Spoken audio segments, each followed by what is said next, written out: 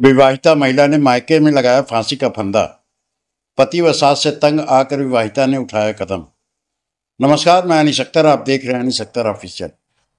औराई थाना क्षेत्र के चकापुर, घटमापुर गाँव बीती रात तेईस वर्षीय महिला ने ससुरालजनों से तंग आकर अपने मायके में फांसी का फंदा लगाकर अपनी जीवन लीला समाप्त कर ली।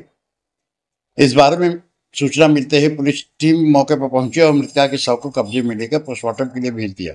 इस मामले में पुलिस ने मृतक महिला रीना देवी के पिता रामधनी बिंद की शिकायत पर मृतका के पति वीरेंद्र बिंद व उसकी माँ के खिलाफ अपनी पुत्री को आत्महत्या के लिए मजबूर करने का मामला दर्ज कराया है। पुलिस को दी शिकायत में गाँव घटमापुर मृतका की छोटी बहन ने बताया कि उसकी बड़ी बहन रीना देवी की शादी पाँच वर्ष पूर्व दो हज़ार उन्नीस में मिर्जापुर जनपद के चील थाना अंतर्गत हुसैनीपुर गाँव निवासी स्वर्गीय वल्ली बिंद के पुत्र वीरेंद्र बिंद के साथ हुई थी।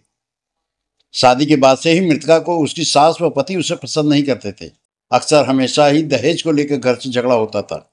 आज से तीन चार दिन पूर्व भी ससुराल में हुए झगड़े के बाद उसके पति ने विवाहिता को बुरी तरह मारपीट कर उसके मायके से कुछ दूर पर अकेली छोड़कर यह कहकर अपने घर वापस लौट आया। कि बिना चालीस हज़ार रुपये लिए मत आना।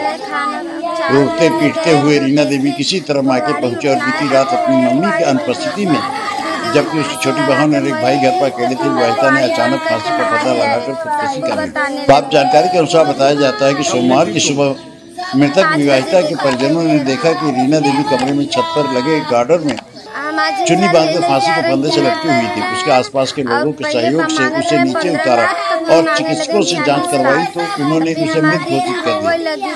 इस बारे में पुलिस को सूचना दी गई। सूचना मिलने पर और पुलिस प्रभारी अजीत कुमार श्रीवास्तव पुलिस टीम के साथ मौके पर पहुँचे और मृतका के शव कब्जे में लेकर पोस्टमार्टम भेज दिया। बताते चले मृतका रीना देवी अपनी तीन बहनों और एक भाई में सबसे बड़ी थी। मृतका को एक वर्ष का एक पुत्र भी है। नमस्कार मैं अनिशक्तर आप देख रहे हैं अख्तर